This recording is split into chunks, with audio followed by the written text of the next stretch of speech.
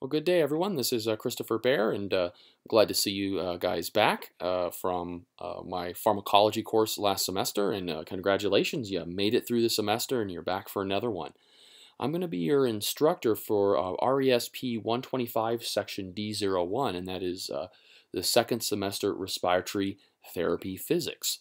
So I'm just going to take you guys through the course setup and through Canvas very quickly uh, you guys have been using uh, Canvas for the past semesters, so none of the information is going to be particularly new to you guys, but I'll just kind of show you how the course is going to be set up nonetheless. So let me go ahead and just pull up Canvas. So when you guys come into uh, Canvas, you will see the homepage that looks like this. Uh, this will be in the syllabus homepage, and the first thing you'll see is the course syllabus. And right here in the middle, I'll actually have the uh, link to this video that you're watching. So the video will pop up and you'll actually see a copy of the syllabus. Uh, currently, we're, we're still waiting on some information to put into our syllabi before publishing them, so you don't actually see the link to download the syllabus here, but that's where it'll be. Uh, the majority of the course, uh, the information or content you'll need from this course will be in the modules section here on the left. And just like pharmacology, you'll click on the modules and I have the course divided into 10 different modules. It starts at uh, unit, or 10 different units rather. Uh, unit 1 is introduction, basic units of measurement conversions. Uh, unit 2 will be a review of calculations in the algebraic me method. Uh, unit 3 will be a classical and quantum mechanical overview. Uh, unit 4 will be states of matter, thermodynamics, and kinetic molecular theory. Unit 5 will be the gas laws.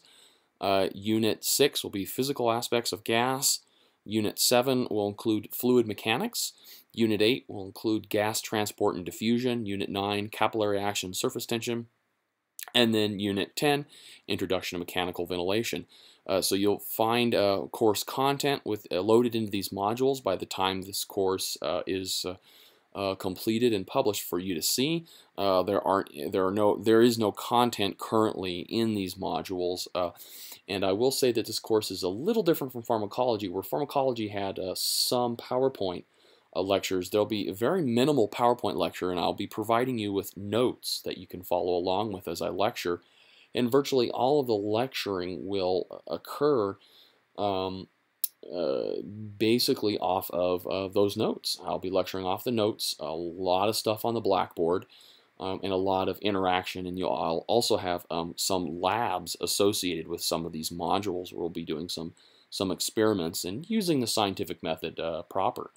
Uh, so that'll be the basic setup of this course.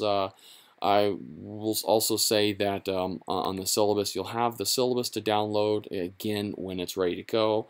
I'll just show you what the syllabus will look like when it's, of course, when it's published. Um, so this is your syllabus, pretty standard, very similar to the pharmacology syllabus. Um, and of course, all my syllabi include a comprehensive uh, lecture lecture test and lab schedule here. Uh, be very important to obviously to download that, copy it off. Uh, methods, evaluation, grading, uh, different types of uh, information, objectives, so on and so forth. And I also have uh, a um, important dates or dates to remember, and this is actually right off of the 2012-2013 uh, DACC calendar. So this will be up and ready to download uh, for you guys um, pretty pretty quickly.